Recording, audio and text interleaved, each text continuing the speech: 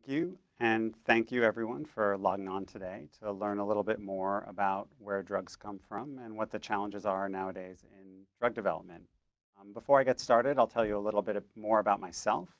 Uh, I'm a professor here at Tufts. I've been here for 10 years in the chemistry department, and I have taught um, classes in biochemistry and organic chemistry to over a thousand Tufts undergrads and um, and I run a research lab, and I'll tell you a little bit more about my, what my research lab does. Uh, I started my academic journey at uh, the Cooper Union in uh, New York City as an engineering student. And then I did my graduate work at Yale University um, studying the structures of drug molecules. And then did a postdoc in genetics and cell biology here in Boston at the Whitehead Institute. So I've been trained um, from engineering to chemistry to uh, biochemistry and genetics. Um, and I try to bring that interdisciplinary approach both to my teaching here at Tufts and also into my research.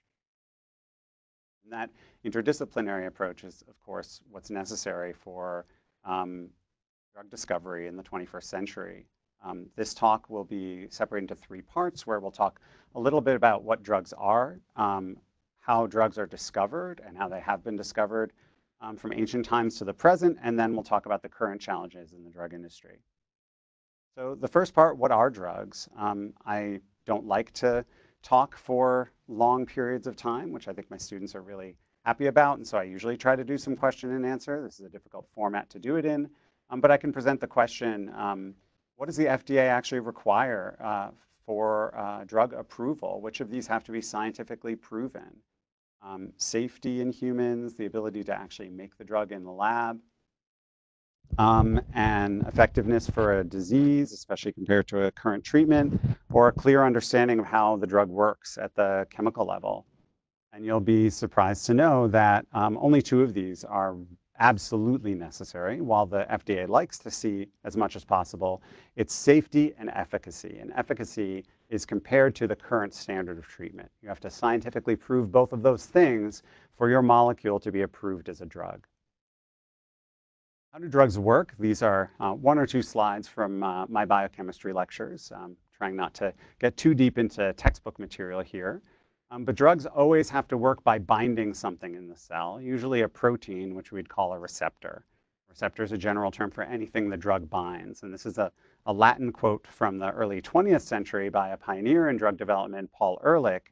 Um, the Latin uh, translates to an agent cannot act without binding. If you're adding something to a biological system and it changes something about biological system, uh, then it must be binding something, sticking to it in three dimensions and staying there uh, blocking it to have that effect. And then there might be a signal that gets transduced to the cell and the cell might respond. Uh, and that's how you get um, the response, whether it's turning on insulin production or killing a cancer cell. This is the technical way that we would talk about it in biochemistry. You would have a competitive inhibitor. Um, shown here is a molecule called dihydrofolate. It inhibits an enzyme uh, in your cells. Um, uh, it's a, a, pardon me, it's a natural substrate for an enzyme in your cells. Um, but here's methotrexate. It's a drug that looks a lot like dihydrofolate, but you can see a few small differences in methotrexate. And so you can imagine how methotrexate might bind the same molecules, the same proteins in your cells that dihydrofolate binds, um, but instead of being able to um, have the same chemistry done on it, it just sits there and blocks it. And that's how most drugs work. They just find something in the cell, they sit there and then they uh, gum it up and they block it. Um, and that's a lot of what we look at in a test tube when we're looking at how drugs work is which proteins in your cells are they sticking to and which are they not. Um, that's all the textbook material I have. Hopefully that's uh, enough to, to whet your appetite. Uh, I'll talk a little bit about the history of where drugs have come from. The idea of using substances to alter disease is obviously as old as uh, mankind itself, as old as civilization. Um, lots of great uh, traditional texts that describe using drugs to combat disease. And in fact, the oldest and most reliable way of getting drugs has been from nature. So for instance, here's aspirin. Salicin is the natural form of aspirin, which you can, you can isolate from willow bark. Salicylic acid is a derivative of it. Hopefully, even if you don't understand these chemical line structures, you can see that salicylic acid and aspirin, all the way on the right, um, mimic the structure of salicin in a lot of important ways.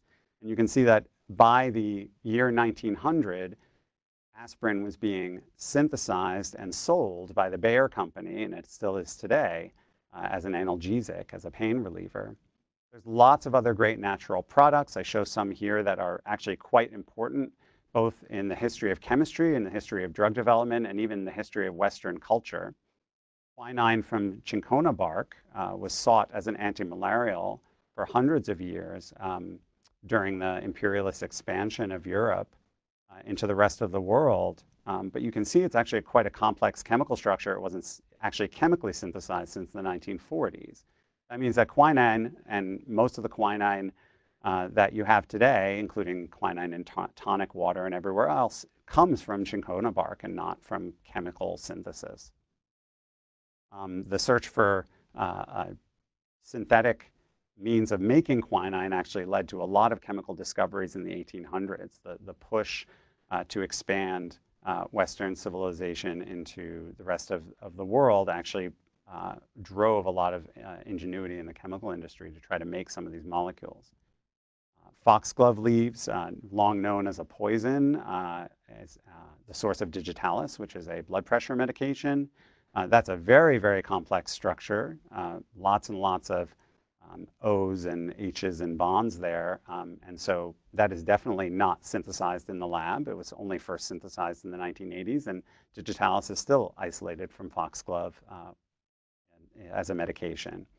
And then morphine and other opioids, again, also originally uh, known since ancient times and originally um, isolated from the seed pods of poppies. The natural products are the most enduring and still today one of the most reliable sources for new drugs. And that leads to the question of, well, if a lot of drugs come from natural sources, then um, what is the difference between a natural dietary supplement and a drug? And I like to turn that around and ask, well, what is, um, what is the actual regulatory hurdle between a dietary supplement and a drug? Um, do you have to show safety in humans? Do you have to list all the known bioactive substances in that extract? Do you have to show effectiveness for a specific disease or condition? Do you have to even describe the known effects on human physiology? And the answer to this question is none. Uh, the FDA monitors dietary supplements uh, only after they're out on the market, after they maybe start to have some adverse effects. That's the only time the FDA gets involved. And I'd like to stress that even um, drug developers, scientists both in the pharmaceutical industry and in academia, such as myself, see no difference between molecules that are discovered in nature that can be used to treat disease or molecules that are discovered in a lab. The only difference is the burden of proof that you have to go through to be marketed as a drug or accepted as a drug.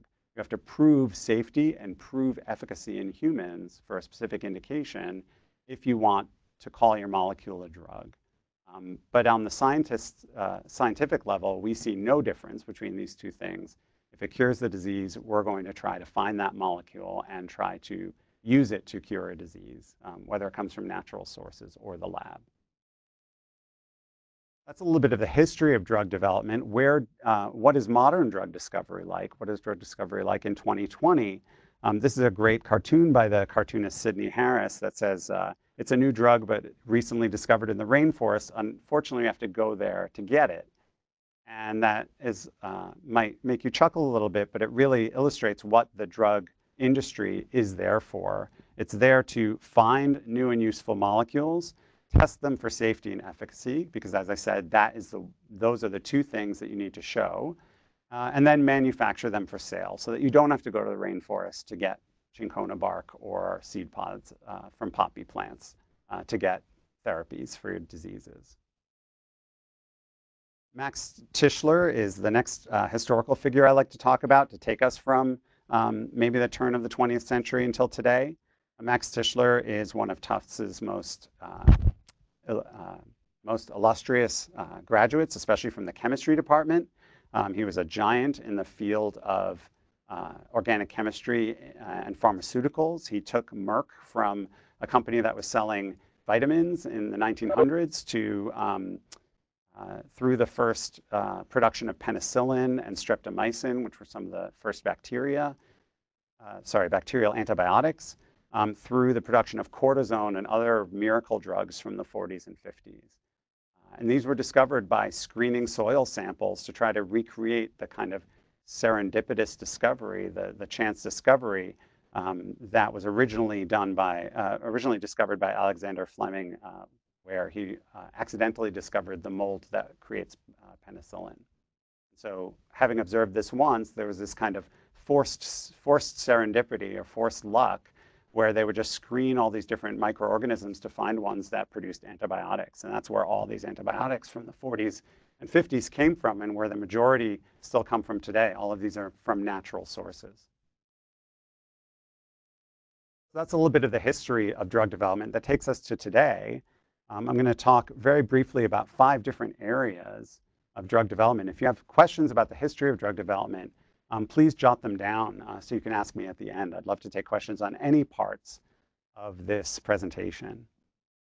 So the second part, um, I'm going to go over uh, five different areas um, of drug discovery, starting with natural products. Natural products, uh, quote unquote, is what uh, drug developers call drugs from nature. Um, here's a great success story. Uh, Taxol. Taxol was originally isolated from the bark of an endangered Pacific yew tree, and it still comes from the yew tree today. Um, you can see this crazy chemical structure over here to the right. Really crazy. It took decades and decades of organic chemists to try to figure out how to synthesize this molecule. Um, it was only first synthesized in 1994. And why I love talking about Taxol is not only is it still um, a commonly used breast cancer drug, um, but it operated by a very, very new mechanism. Interfered with microtubules, which are the cellular skeleton at the cellular level that kind of hold the cell together. And I show a little uh, cellular diagram here. Microtubules are put together um, by a polymer of all these small proteins, which are shown in green and blue spheres in this uh, diagram on the bottom right. And what was really cool about Taxol is that the fact that people knew very little about microtubules until Taxol was discovered. And Taxol, the discovery of this drug, actually helped basic scientists learn how the cell skeleton was put together. And that's why people like myself, academics, are involved in drug development, is because we can ask questions that biologists can't answer by discovering new molecules that inhibit cellular processes that biologists don't even understand yet. Taxol is a great example of a drug that's still used today and it's been used for decades that actually taught biologists amazing amounts of basic cell biology.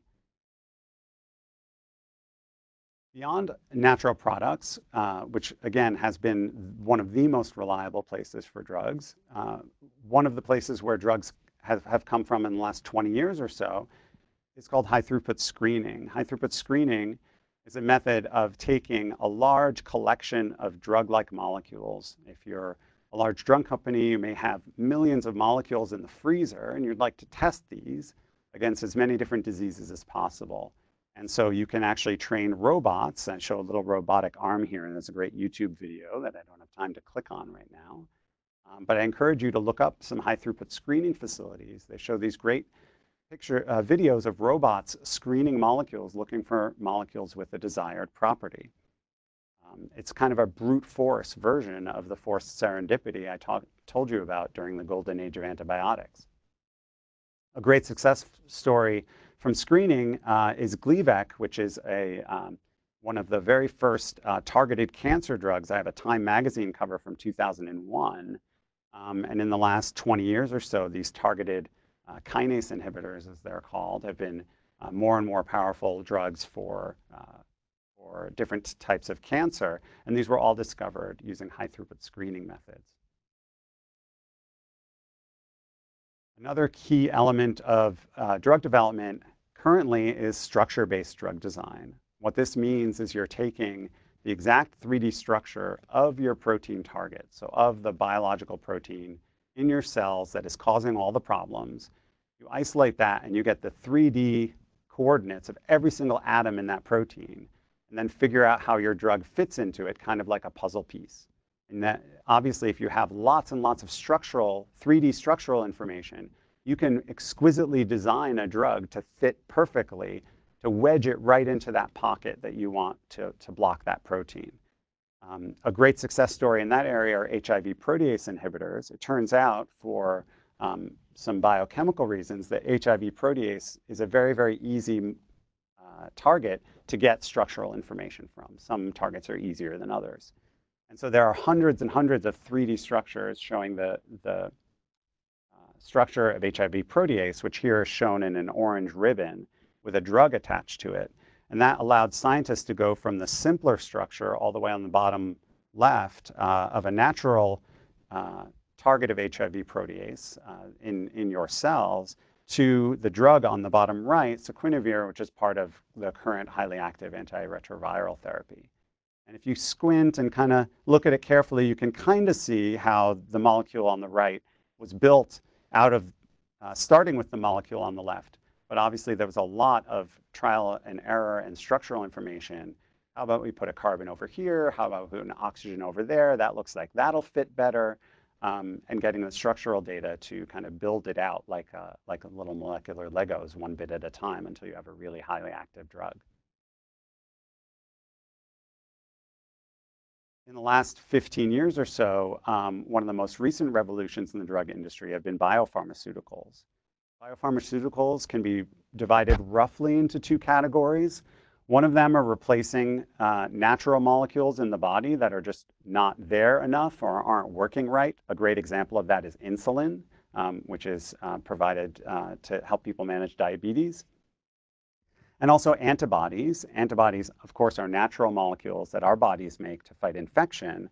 Uh, but recently, scientists have been able to produce antibodies that artificially uh, target different uh, proteins in the cell that are causing disease, um, either to get the immune system to attack them or just to block them. And Herceptin is a breast cancer drug that is an antibody. Um, there's antibodies now um, being sold for rheumatoid arthritis and lots of different conditions. And these are biological molecules, um, molecules that are similar to the biological molecules your own body makes, but drug developers have learned how to weaponize them to fight disease. There are a lot of advantages of these molecules. Um, since they're mostly identical to natural molecules in the body, you can have a lot fewer side effects um, because um, they're, they're relatively safe and benign to the body. Um, and some of them, like antibodies, can be target, uh, targeted against almost any different process. Some of the disadvantages, though, are you can't just grow up a bunch of foxglove and grind it up and extract your drug like you can for digitalis um, you have to produce it using some sort of biological source. Um, you can't synthesize it in the lab or isolate it from a natural source. Most can't be taken orally, and that's why insulin uh, and antibody drugs have to be injected. Um, and they usually don't last very long in the body because they're made up of the same types of building blocks that get broken down in your body every day. And they're usually limited to targets on the outside of the cell because they can't really get into cells on their own. Uh, I show a contrast here. On the left, I show two, uh, what we call small molecule drugs, kind of regular molecules. Aspirin, which is really tiny, and digitalis, which is kind of on the bigger side. Uh, and I showed their chemical structures earlier in this talk. And then you can see insulin on the right, which is actually a very small biopharmaceutical compared to things like antibodies. And you can see, um, just showing their molecular weights here in numbers and showing their relative sizes, these molecules are much larger and more complex than the kind of traditional drug-like molecules that I've been showing you to date uh, uh, so far in this presentation. I wanted to address um, something that's really emerging. It's not even a drug yet, but it's um, uh, something you probably heard a lot about in the last couple of years, which are genetic therapies. Um, if you remember anything from your biology classes that you might have taken at, at, at Tufts, you might have uh, might remember that um, DNA is where the genetic material is kept. RNA is uh, what determines whether genes are on and off in a particular cell. And the proteins that I've been talking about uh, so far in this presentation are, are what cause the biological changes. And almost all drugs that I've been showing you so far target proteins. They target um, the things that are making the biology happen and blocking them or changing where they are.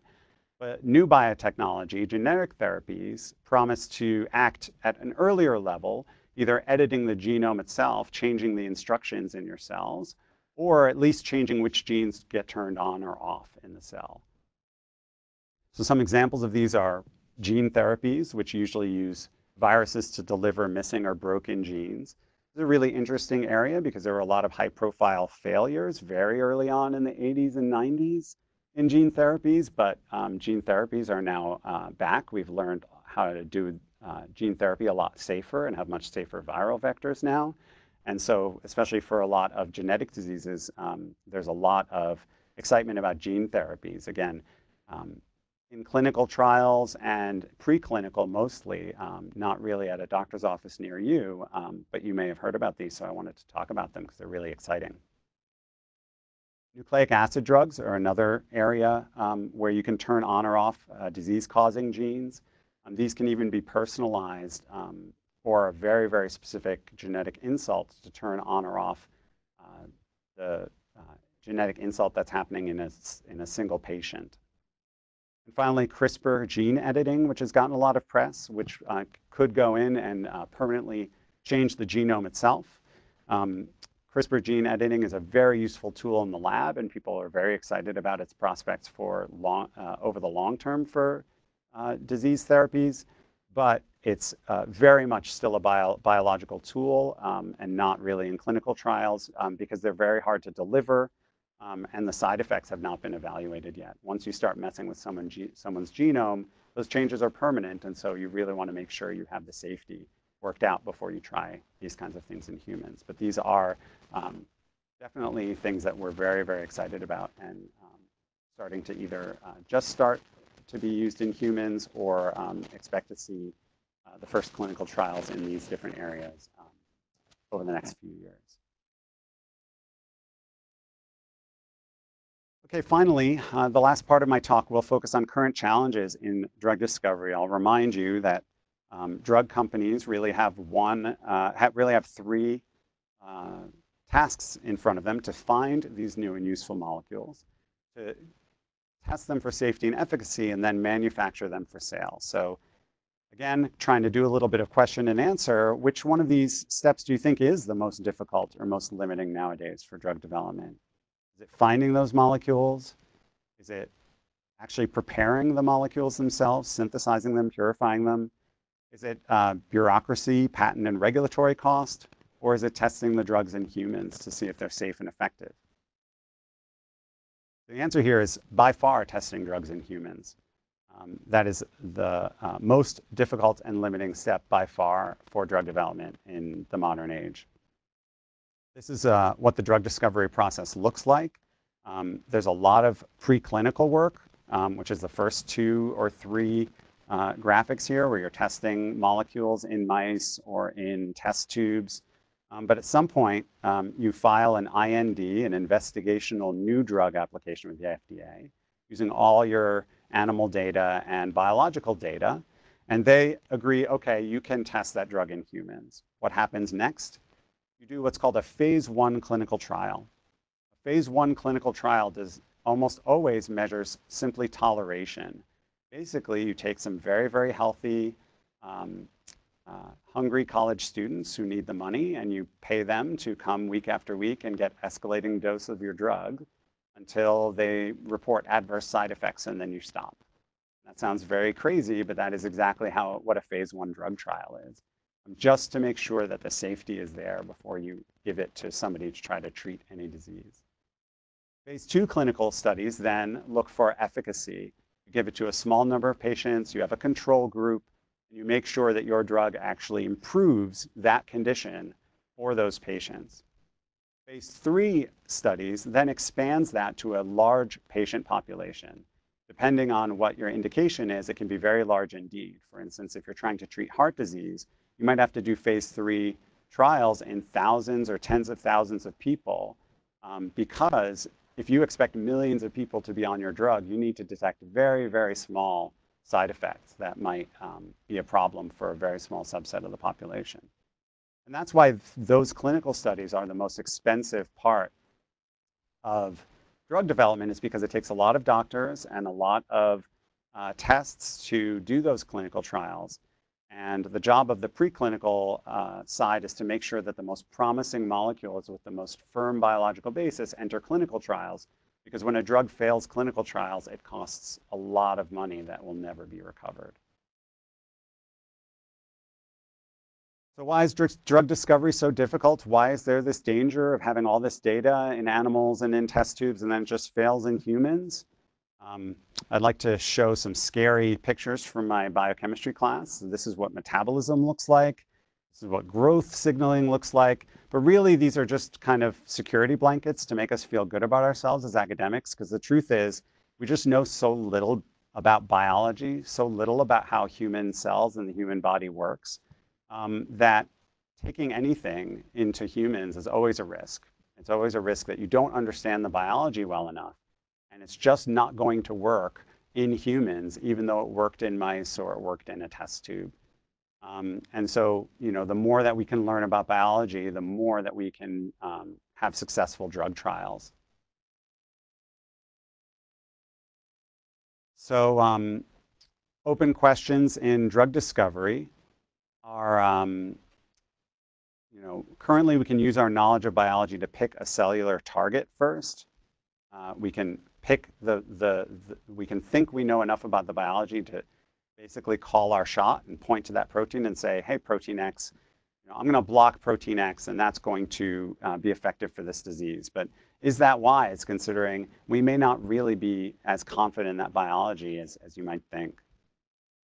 Also, uh, current uh, ways of developing drugs can only target a small subset of what's going on in the cell. Can we target anything in the cell? Can we target uh, nucleic acids? Can we target the genome? And most importantly, can we uh, correct this, um, this uh, disaster outcome that happens almost two out of three times, which is that drugs fail relatively late in clinical trials? Can we lower this failure rate somehow? There's something we can do in a test tube in animal models um, to uh, be much more sure about our molecules succeeding before we go into human clinical trials.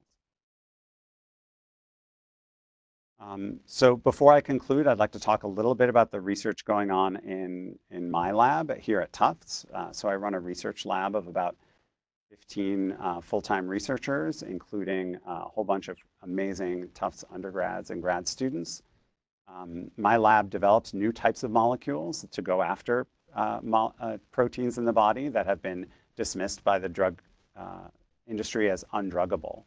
This is a really um, excellent area to be an academic in because these are very risky proteins. I just told you that um, you know, target selection and making sure that you understand the biology is the number one key for having a successful clinical trial. Uh, and so I get to go after really risky targets um, where the biology isn't very well known. Another thing that we do is, is design molecules that control autophagy. This is a great example of a process that's very, very exciting. It's a cellular recycling process by which uh, cells can recycle their material. It's a very healthy thing for cells to do, and we'd like to promote it in a lot of uh, cells to combat a lot of diseases.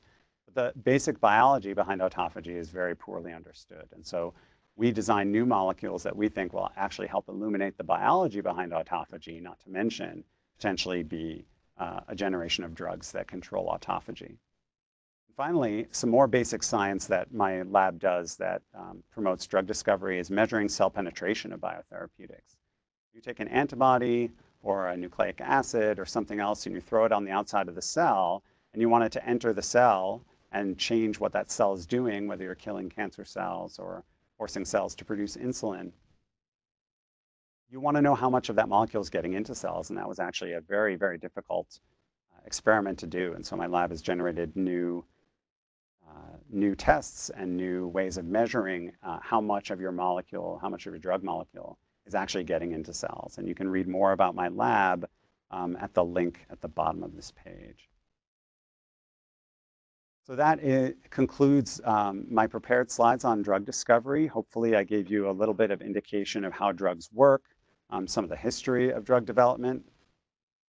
Um, Methods of drug discovery, I talked everything from natural products, which, um, which goes back to ancient times and is still done today, all the way through to uh, biopharmaceuticals and genetic therapies, which are um, translating from the bench to the bedside as we speak.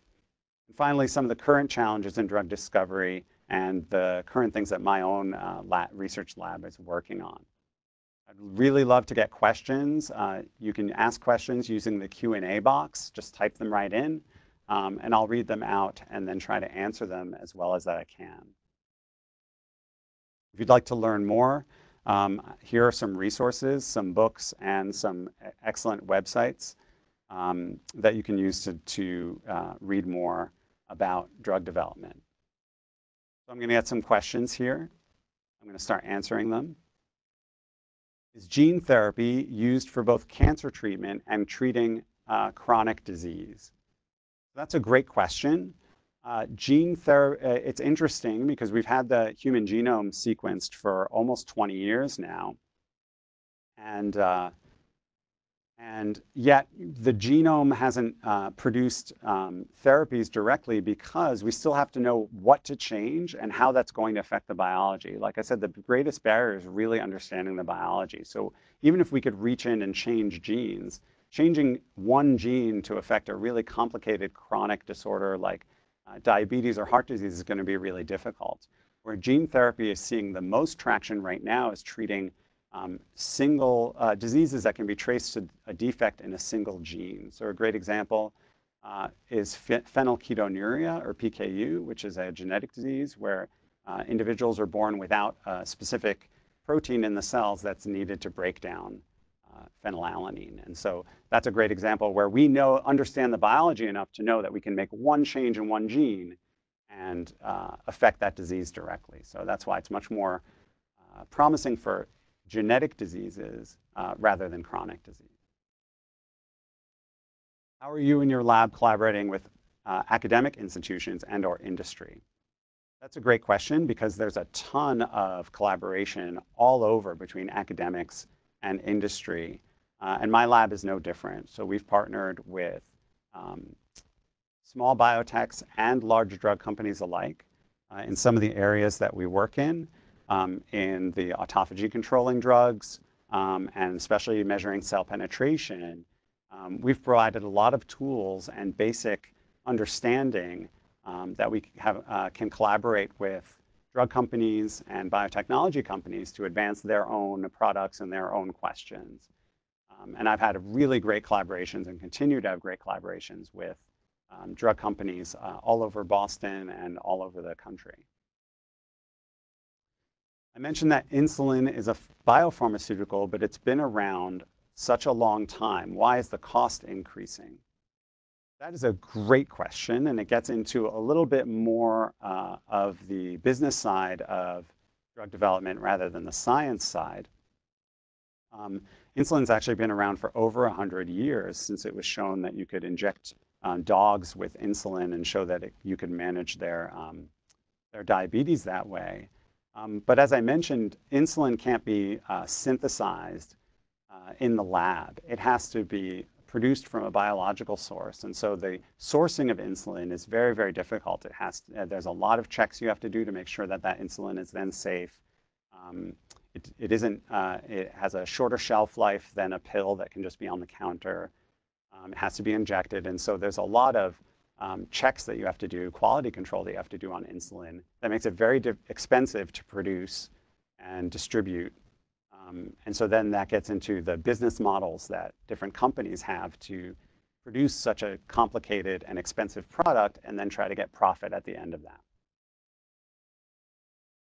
How have I seen the FDA approval process change in my career? Do I have any thoughts on how to make the process more efficient?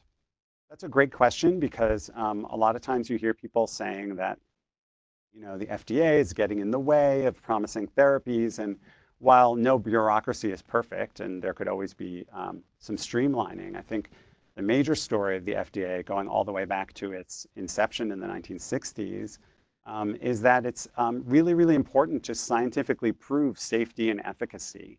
Um, you notice that the FDA doesn't require perfect knowledge of everything that your drug is doing, but it does require you to have kind of a control group to show that your drug does better than the current therapy or the current and does not harm people. And I think it's really, really important to appreciate how difficult a question that is to answer. Um, the FDA does have a fast track program um, that is uh, being used for really important therapies. And so I do think that the FDA process works really, really well. But of course, there are a lot of ways that it could be improved. Given that the biggest hurdle is testing in humans, how do I feel about fast track development programs that may reduce the amount of studies or testing in humans? What are the risks and benefits? This is a fantastic question. Um, and I think that the, the last part of that question is really the most important part. What are the risks and what are the benefits? I think there are a lot of benefits fast tracking um, therapies in humans when there are no other available therapies um, genetic diseases, cancers that have been uh, shown to be resistant to current chemotherapies, um, antibiotics for antibiotic-resistant bacteria where the existing antibiotics have been exhausted. These are all great areas where the risk probably, uh, the benefits probably outweigh the risk because you have a person who doesn't have another therapy to turn to. Um, but for other things, for chronic conditions where there are management regimes, are therapies, I think it's really, really hard to say we should speed that process up because the potential risks are just huge if you have millions of people taking an untested therapy. What are the major causes of drug failures late in clinical trials? That's a great question. I guess you're you're looking for more granularity than just you know this this analogy with a, a, really complex system. I mean, the truth is we really don't understand human biology.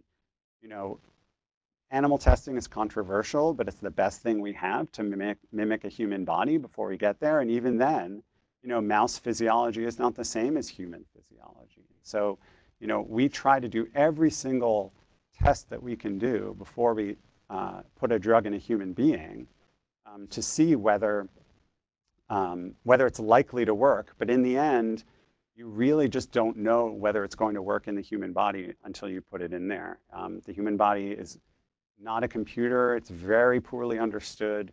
Um, we know a small fraction of how, the, uh, of how human biology works. And so um, at some point, it really is a leap of faith to go into humans and hope that everything that you've worked for up until that point will continue to work when you actually test it in human beings.